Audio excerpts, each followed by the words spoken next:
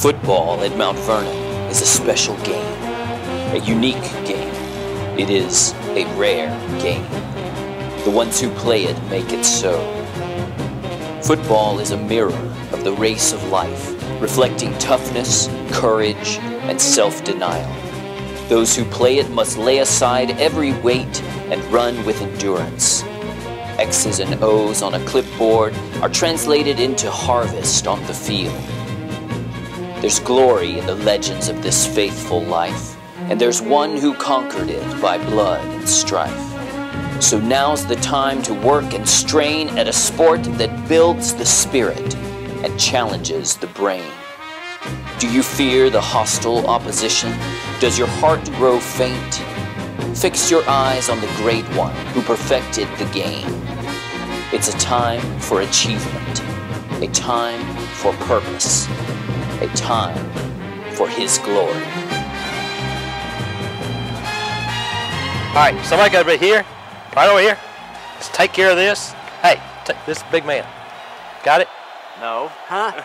All right, when they come, I want you to take care of the big guy. Got him? All right, boys, I want you to show me what you got. Go all the way today. This is it. This is the game. We're not gonna mess up this time. Got it? I hope so. All right, let's Sounds go. good, coach. Vernon on three. Got it? One, two, three. Vernon!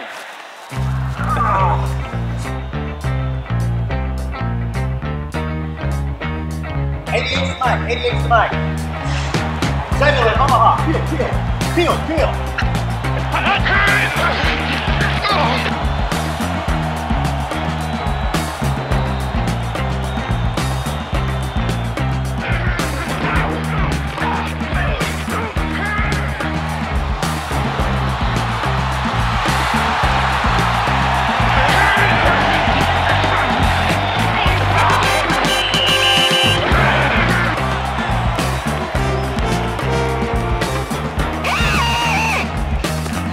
Personal foul! Disrespect to the ministry!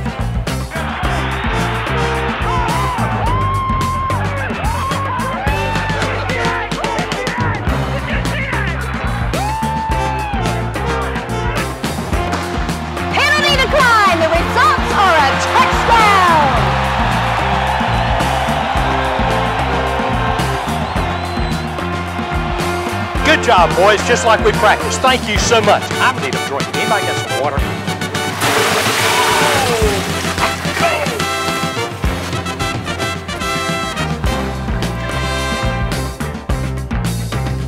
Boy, what an outstanding collection of athletes. I have to say, and I have to say, you're we, we got you cleaned up after getting That was house. cold. That was cold, man. That's bad. That's bad. Come on. Uh, uh, dude, you I, you had me convinced that you were Vince Lombardi. That's- but what happened to your mustache? Shave. this Oh, morning. okay. That's like that arm. That's good, right? Still got it. I'm not as good as I once was, but I'm as good once as I ever was. So, I hope Atlanta's in the Super Bowl. I got a scripture I want us to preach about together today, Okay. and it's about the race. Hebrews chapter 12, Mhm. verse 1 and 2. Okay. Let's go through that thing. You want to? Sure. Start us off. Since we are, Since we are surrounded by so great a cloud of witnesses. Well, there's it's high pressure today. There's no clouds here today. I, I think he's probably referring back to Hebrews 11, which is the Hall of Faith, which is the roll call Oh, all the people that God worked through uh, in the Old Testament to bring us all the way to Christ. All the greats right there in one chapter. Mhm. Ooh. And, and you know, the fact is, just like the ball game, there's been great teams before us. And these today are following in the line of great teams. Well, as believers, there's been great believers before us. Mhm. So now, hey, it's our turn. And now, what does he say? Let us also lay aside every weight and the sin which doth so which clings so closely to us, and let us run with endurance. Ha! He tells us now, let's get going.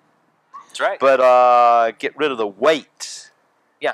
Can you imagine one of these football players hauling clubs, golf clubs, around with them, trying to win?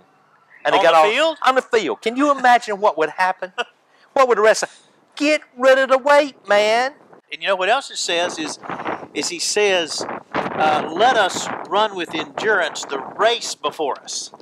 Mm. And that reminds us, you know, Paul. I don't know. He must have been a sports fan because he he used a lot of metaphors like races and boxing and and competing for prizes and things.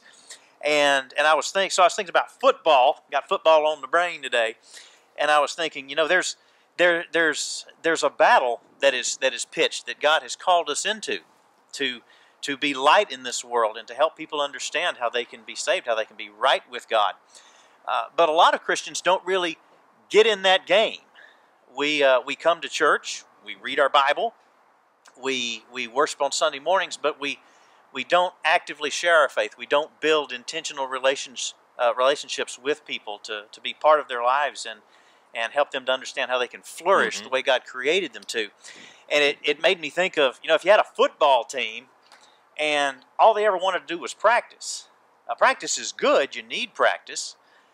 But if all they ever did was was get the team together, meet once a week, memorize the playbook, and then go home, do nothing about it, and then then come back the next week and well, we're going to run some more plays, we're going to memorize some more plays in the playbook, and we're going to enjoy being together, but they never played the game. Well, that'd be kind of silly. That's right. And you know, when you play, the difference is opposition. Mm-hmm. You got a whole other string of guys that's trying to keep you from doing what you want to do. Mm-hmm. And, and you know what? When we run this race for Christ, when you get out there and actually do it, mm-hmm. we have opposition. Mm-hmm. The devil. you know, we can look at, as you look at the other team, you say, every one of them are Satan. you know, and his demon's out to stop me. Well, you know, as Christians, we got that. Uh-huh. And that's part of the reason we don't like to play.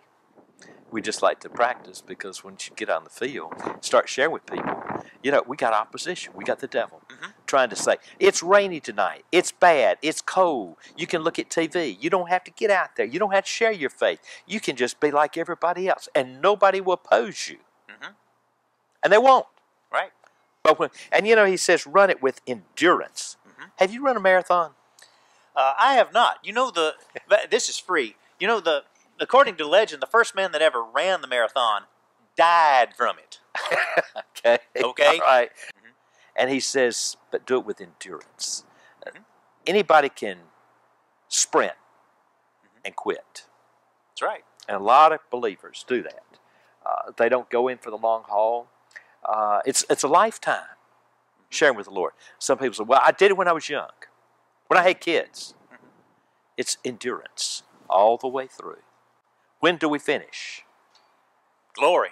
Amen. When the Lord Lord says, "Come home," you know, and and the chapter before that's what these guys did. Mhm. They did it to death. So we endure. We do indeed. And the other thing about endurance, endurance is built in two different places. It it's built during practice, Yes. Right. and so just like sometimes we in, in, in church we get in the mode of, of where all we want to do is practice and we're scared to play the game.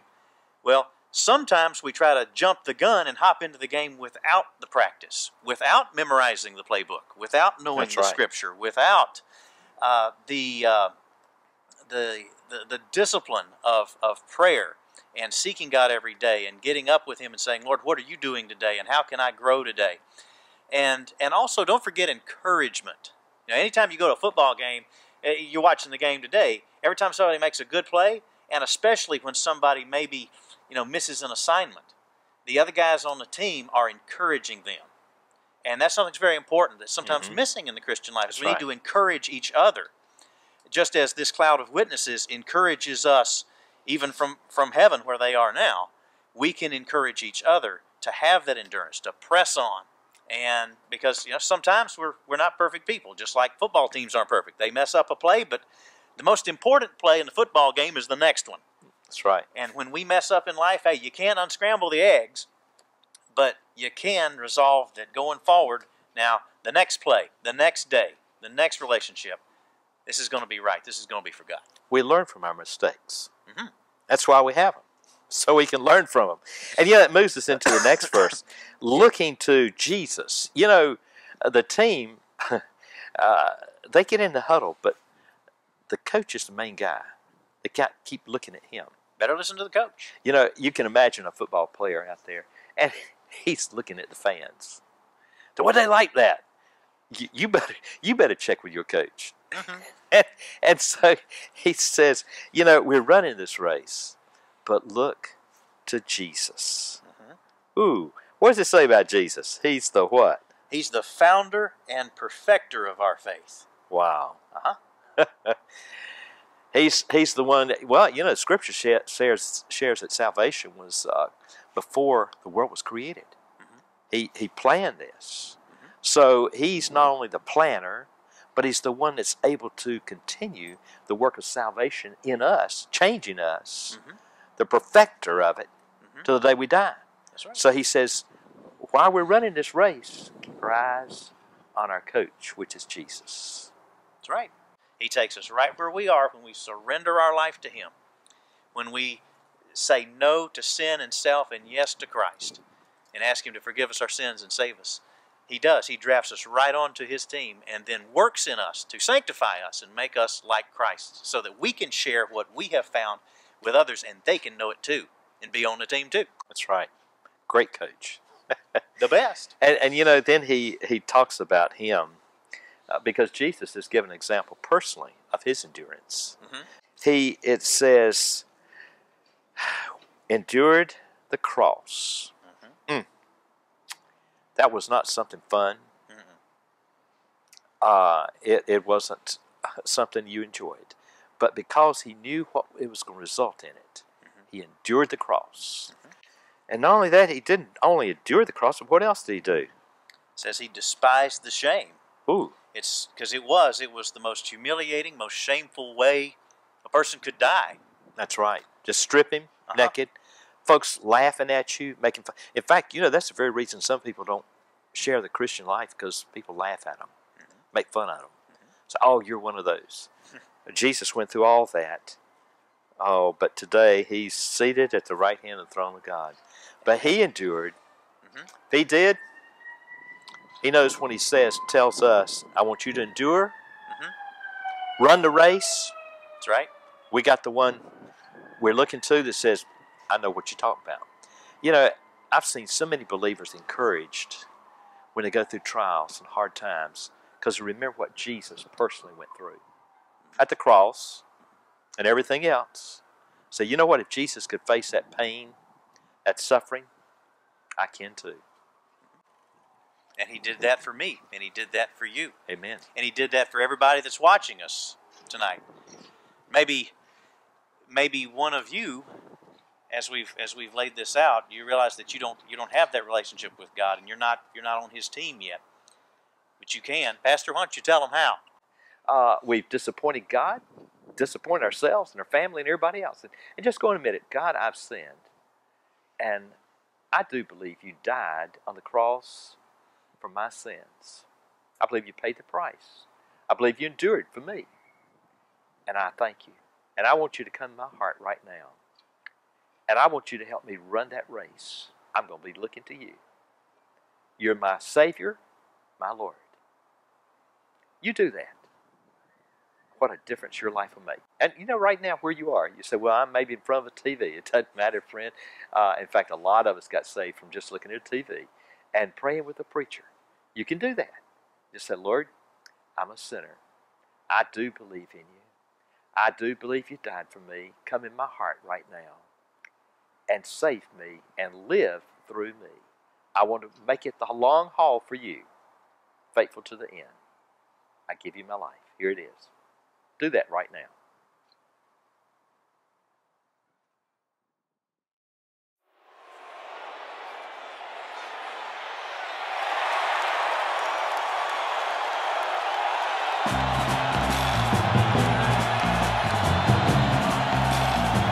Pastor. Hello, brother. You, did you win? I, I, was just watching the halftime highlights.